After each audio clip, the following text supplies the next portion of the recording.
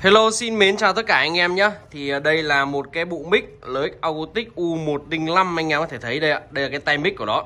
Nhìn nó rất là đẹp và lưu ý tất cả anh em là những cái tay mic này Nó đều bằng kim loại anh em nhé, Chứ không phải bằng nhựa đâu ạ.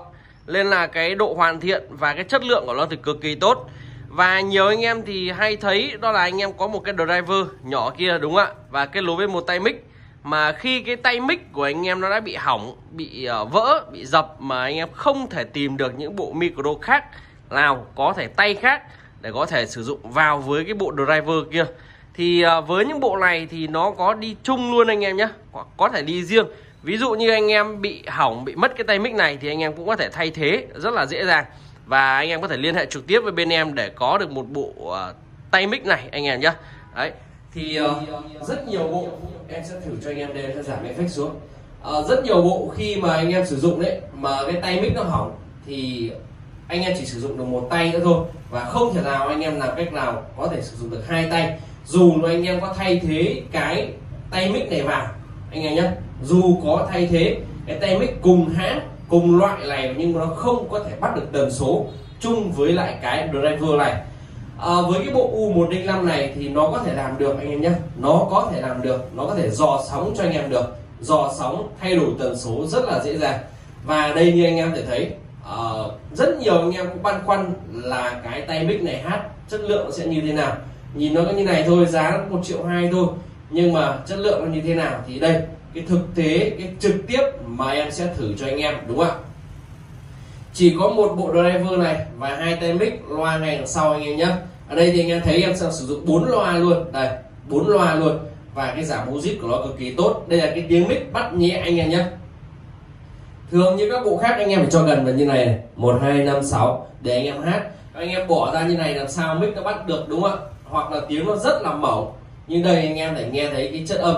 Tiếng mic nó bắt vẫn rất là đầy đủ giải trầm, nó vẫn rất là tốt.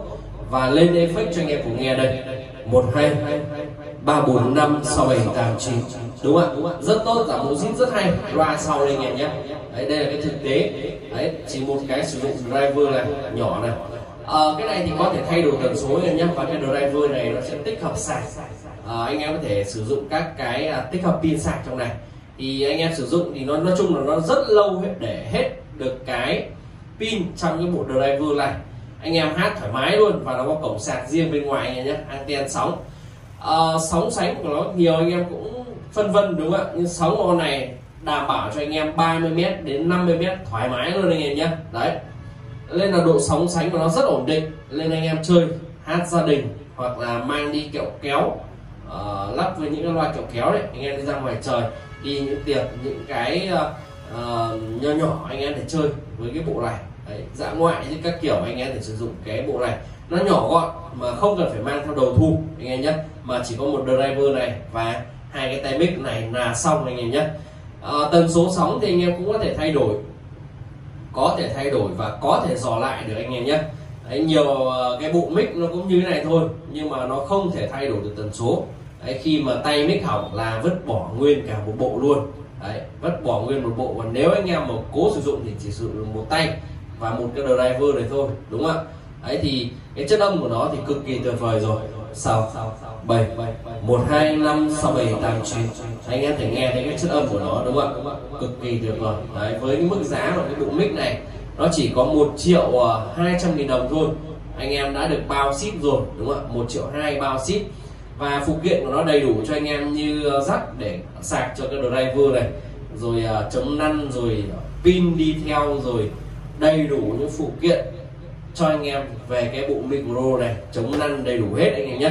Nghĩa là về nhà anh em ghép nối mỗi cái driver này anh em cắm vào uh, van hoặc cắm vào âm ly thôi là anh em có thể bật cái công tắc nguồn này lên. Đây nó có thể giữ này. Đấy, ok chưa? Đây là cái tắt đi anh em nhé. Giữ nó nguồn sẽ tắt bật lên này. Đấy thì nó sẽ bắt được cái tiếng mic. Ok chưa? Sóng sánh nó sẽ hiện lên luôn. Đấy, nhiều anh em thì muốn chi phí đầu tư ít nhưng mà cái chất âm nó ok để nâng cấp cho những chiếc âm ly. Vì rất nhiều anh em đang sử dụng những âm ly đã cũ rồi đấy. Mà cái mức đầu tư anh em chỉ có triệu hơn triệu thôi, anh em muốn bộ mic. Thì anh em làm cái bộ này nó nhỏ gọn, hoặc là anh em nào mà muốn đi các kiểu dạng ngoại hát với loại kéo, thì anh em sử dụng cái bộ mic à, 105 này thì nó rất là phù hợp, anh em nhé. Rất là phù hợp. Vì sao nó nhỏ gọn, mức giá nó bình dân và mang đi đâu anh em thể mang được hát dòng này thì cực kỳ tiết kiệm pin anh em nhé. Cực kỳ hạn là tiết kiệm pin. Dù đến tay mic và sử dụng cái driver này nó cũng rất là tiết kiệm. Đấy, anh em hát thoải mái luôn với những tay mic bình thường. Như này anh em hát những pin con thỏ bình thường nó phải được ba bốn tiếng. Đấy, còn hát với những pin như Panasonic anh em mua pin giá trị cao hơn chất lượng nó sẽ tốt hơn thì nó sẽ được tầm khoảng 5 đến 6 tiếng anh em hát liên tục. Đấy là một cái cho anh em có thể biết được là cái pin uh, bình thường đó là pin, pin con thỏ đấy là cũng phải tầm được ba bốn tiếng là anh em hát thoải mái luôn. Thì nó rất là tiết kiệm pin rồi đúng không ạ? Cực, cực kỳ là tiết kiệm pin cho anh em chơi. Đấy thì có triệu hai rồi anh em thấy không quá hay đúng đúng không ạ? Quá hay và quá tốt cho anh em chơi luôn. Thì uh, mọi tin nhu cầu mua hàng thì anh em hãy nhớ liên hệ bên em qua số bên góc dưới màn hình.